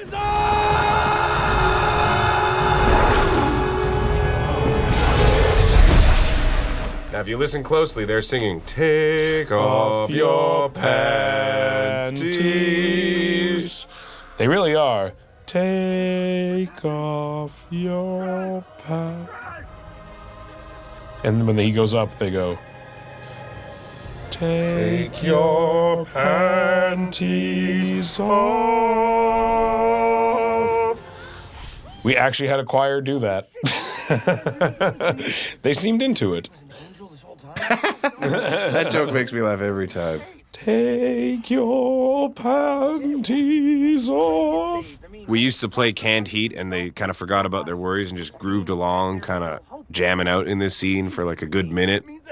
And then we realized that was boring. And we just wanted to make it go faster. We wanted to kind of, I don't want to say we wanted to rush through to the ending, but we knew we were on the home stretch and we, you kind of don't want to dilly daddle. You want to keep it rolling at this point, keep it moving. We filmed this in a street in New Orleans um, that we turned down into the apocalypse. We had tons of cars that we lit on fire, and they made these giant freeway signs that were awesome looking. Um, and it really looked like a fucking pretty nasty, hellish landscape. Um, And uh, I'm very pleased with how this looked in the end, aren't you, Evan? Yeah, you know. Not so much. It's you? a, no, this part's great. That shot is, of course, a ripoff of many shots in many movies. There's a million shots where a car crash happens and you're inside the car with the guys. I think maybe the Bourne Ultimatum was one of the first ones. to do it. Adaptation. Adaptation does it pretty well. We thought, hey, you know, why not throw our names in the hat? This is the Deftones. We used to listen to a lot of Deftones. Loved the Deftones. That's our- Ricky Maybe that's right there. Ricky Maybe. That's our cinematographer who's holding me with the kitty cat paint on his face. And his brother's beside him with the eye patch. That's B-Tro and J-Tro, or Brandon Trost and Jason Trost. Or just the Tro Bros. We thought it'd be good if Danny had some fresh air Jordans. Here's where we should say Danny Glicker. Yeah, that wasn't our idea. That was, designer. that was the Glick's idea. He's an awesome guy. Danny Glicker could be considered a modern day genius. Yes, yeah, that's our cinematographer Brandon Trost in the uh, with the with the muscles painted on his body and the kitty cat nose. Now, a lot of people are probably wondering how the fuck do we get Channing Tatum to do this? First, we should say that's always Channing Tatum. Like that's Channing Like right now, touching Like, Danny's that's dick? the Channing. Like it's never another guy with a mask on, and then like it's only Channing when he pulls the mask off. Like it's always Channing. Yeah, like two full nights of Yeah. Channing scampering around. And we just, uh, I emailed him. We weren't going to have a famous person play the sexual gimp because we just assumed no one would. And then I, em- and then we're like, maybe Channing will do it. And I emailed him, literally saying, you know, there's a scene where Cha- D- Danny is a cannibal king and he has a gimp on the end of a leash who he talks about butt fucking. And then it- we thought it'd be funny if he pulls off the mask and you reveal that it's you. And I was like, I know this sounds crazy. And I'm like, this is it. Like, that's like the whole role, basically. And I got an email back like 20 minutes later being like, I'm in, I'll do it. Where do you need me to be and when? And he like fuck, he got cuts and scrapes. Like if you see it. some of the makeup, it's mostly not makeup on his Yeah, no, body. he's like running around he's like got a scrape. He's bleeding. There is Yeah. dirt all over him. Oh, yeah. It's uh, pretty spectacular. We had a good shot where he flashed his taint at the screen at one point. We did a shot over his butt cheeks, but it was a bit much. people, we, we actually were probably the first people to put too much of Channing Tatum's body in a movie. We hit the limit. We found the wall. And the wall is basically when you can see inside his butthole. That's the wall. The butthole wall. Oh, Ooh, you felt that one, Yeah. Evan. That was a fake brick, you know. I let the movies, you know, take me where they need you to. know, take you where they want you to be. I'm just, I'm not the director. I'm just a guy watching the bloody movie and going with the hits. Yeah, that's Brandon's brother with the eye patch, Jason. Uh, this is a lot of visual effects going on here. Franco standing on a box in that. Franco shot. fought us on this. He didn't think he should die. He really didn't want to die, and we said you have to die. And then he actually came up with this idea that he starts getting sucked up, and then he's being petty, and so it doesn't it doesn't keep him. That joke's literally from like a Bugs Bunny cartoon. The way the light turns off. It turns off. He looks around and then falls, which is so stupid. But um, Now here's the biggest moment that didn't make the movie. yeah, we had it that Channing cut Franco's foot off. And you see every moment and of what we're Channing pulls his mask off and then eats Franco's like bloody stump as blood sprays blood all is, over like, his face, all over his face. like screaming like a hyena. Yeah, and audiences just don't want to see Channing Tatum do that. That's what we learned also. They want to see him do almost everything except eat James Franco's I don't foot. think that's on the DVD. That should be on the DVD. the Channing the stump. full Channing stump effect. I always wish this chase was a little more exciting. We didn't really have much time to film it, though. This is a symptom of our budget, I would say, more than anything. I feel like before we ramp into the end, we should mention the one person we haven't, which is James Weaver, our James fellow Weaver, our producer, producer. who made all this happen with his hard work. He did. Did he? I think he helped. I think he did too. Not like a lot, but like he was there. He was around the whole time. Uh, and we should thank the studio for helping make this the biggest comedy of all time. It's crazy how they doubled Superman's marketing budget. I know, the last it's minute. amazing. and And- just went all in like And that. And it's crazy how no one's won every Oscar before. Yeah, but thanks to Sony and their relentless spending, And it's cool how we were like, we won Best Foreign Film even because we're not even a foreign film. we're Canadian. I know they figured out a way to do that. It was cool. Yeah. So big ups to Sony for all the money they're just hurling at this. Let's talk Demon Dick for a couple minutes now. If you're just joining us, this is Seth Rogen and Evan Goldberg. And we're talking, uh, Demon. Dick We're on, talking uh, June Demon 7th Dick, here. June 7th, 2013. You know, getting on our knees and talking about the dick. So this demon didn't have a dick at first. Obviously, all this is computer generated. We Yeah. couldn't afford to For- find a real demon. For the last time in our lives, we had the thought maybe we shouldn't do a dick joke. Maybe we here. shouldn't do a dick. We thought. We thought maybe we're better than that. Maybe we thought maybe our ending is so exciting and good. We don't need a giant dick joke in order to make it really sing, as it were. And then what we saw was a giant fleshy mound where a giant joke could be flopping. Uh, well, and we we made a mistake at first. We tried a small dick. We thought maybe like people are gonna expect a big dick. yeah, maybe the joke is it Let's has go like with like a really jiggly like a- small like dick with like little- a big bush. like a little normal dick. And then that just didn't read that well because it's lit. It's well, because the humor is the flop. Yeah, the flopping dick. So then it wasn't until later that we decided to give it this giant dick, and and even still, like it wasn't until later that we realized we could cut the dick off and have it crush uh, skyscraper. Um, so that was really exciting to us. We like we how- gotta we gotta shout out to Paul Linden, our visual big effects big supervisor. help, big help on that dick. He really brought that dick to life. He, he brought that dick to life. This was all shot on like a green screen, essentially, from when my feet leave the ground on. This is just like me and Jay hanging from wires.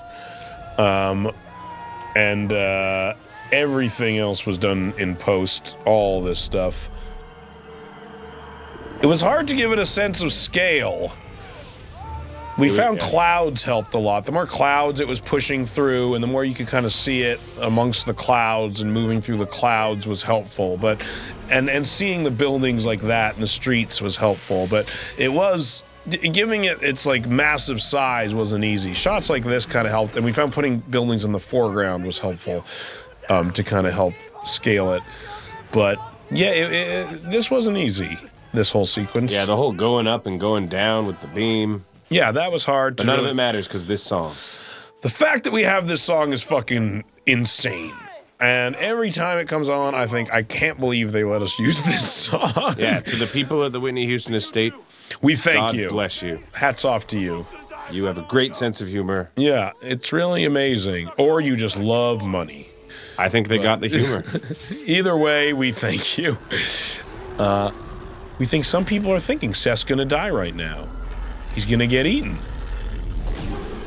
As Whitney Houston comes in, we cut a giant demon's dick off and save and me. its balls explode. Its balls Don't forget that explode. its balls literally it flops explode. to the ground and crushes a building, as one does. as one does. We kept saying floppier to the visual effects house. Yeah, Floppier. be like, but the penis would it not would flop, not flop like, like this. this. It would not flop like this. Now this is our best shot from anything we've ever here done. again. ever. We say floppier.